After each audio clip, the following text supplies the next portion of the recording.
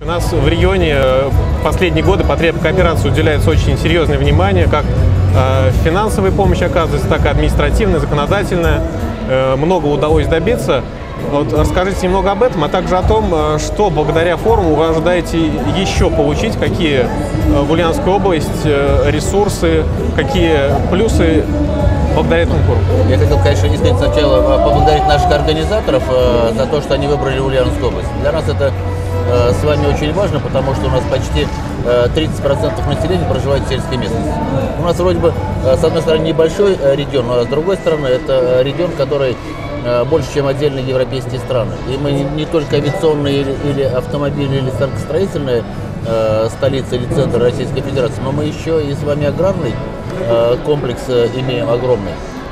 И поэтому всегда стоит вопрос, что нужно сделать для того, чтобы люди там жили счастливо, чтобы они были, э, если уж не очень богатыми, то, по крайней мере, состоятельными людьми.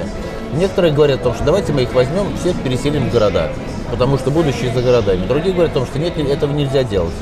А Я думаю, что вы, наверное, поддержите меня, э, потому что сельский образ жизни – это не э, э, приверженность просто э, сельскому труду. Это все же э, по-настоящему, так сказать, э, целая огромная, огромная часть э, жизни нашего многонационального э, народа, который еще еще долго-долго будет жить в мире и согласии. И поэтому, когда было принято решение вот, о создании такого большого форума, такой площадки, мы сказали о том, что здорово, мы действительно нашли тогда таким вот образом ответ, что нужно сделать для того, чтобы люди были богатыми. Э, вот э, это потребка операции. В среднем мы где-то в год э, в пределах полутора десятков кооперативов создаем. За эти, так сказать, небольшое, небольшое количество времени у нас почти э, э, 100 тысяч человек стали,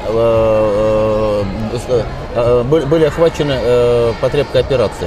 Это очень большое количество людей. Только за последние два года 8 тысяч новых рабочих мест. Поэтому мы считаем о том, что это очень перспективное направление, связанное с социально-экономическим развитием региона.